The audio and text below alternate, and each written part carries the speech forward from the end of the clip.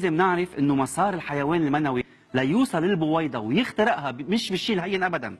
فمن بين ملايين الحيوانات المنوية واحد بس بيقدر يخترق. هلأ شو العوامل اللي بتحدد إذا كانت الحيوانات المنوية صحية؟ اولا أول شيء نطلع على العدد.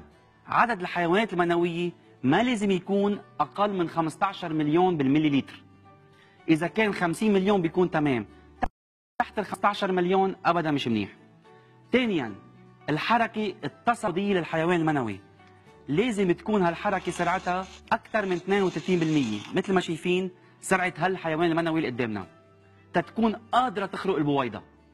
ثالث معيار مهم للسائل المنوي تنشوفوا إذا الحيوانات المنوية فعالة أو لا هو شكل الحيوانات المنوية. شكل الحيوانات المنوية الطبيعيه لازم يكون أكثر من 5% مثل ما شايفين هيدا هو الحيوان المنوي الطبيعي. أما إذا كانت الحيوانات المنوية الغير طبيعية أقل من 95% هذا حيوان منوي غير طبيعي. إذا كانت نسبته أقل من 95% معناتها التحليل السائل المنوي كمان جيد. رابع معيار مهم هو لزوجة الحيوان المنوي. هاللزوجة كل ما خفت كل ما كان أفضل للحركة وللوصول إلى البويضة؟ خامس معيار مهم هو الكمية.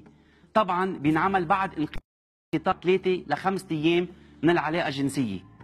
كمية الحيوانات المنوية ما لازم تكون أقل من مليلتر ونص. سادس معيار مهم هو اللون حيث بتراوح اللون الطبيعي للحيوانات المنوية بين الأبيض الفاتح والرمادي والأصفر الفاتح كمان.